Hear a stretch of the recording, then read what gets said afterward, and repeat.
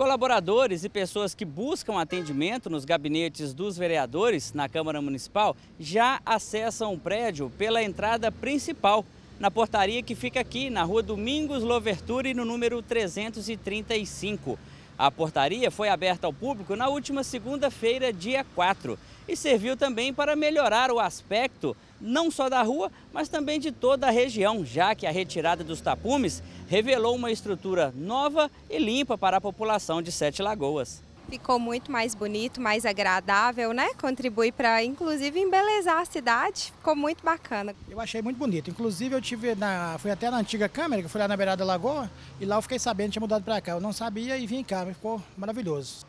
Motivo de preocupação de moradores e também de pedestres que passam por aqui todos os dias, a Praça Pedro Maciel, essa que fica bem em frente ao prédio da Câmara Municipal, será revitalizada em breve.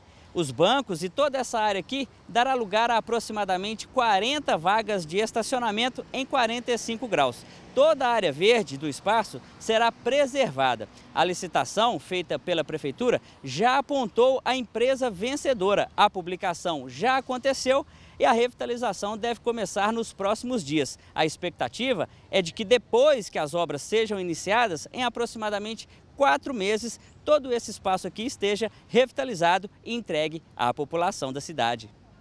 Nova Câmara Municipal de Sete Lagoas. Um novo espaço para o cidadão discutir novas ideias e participar da construção de um futuro melhor para a cidade.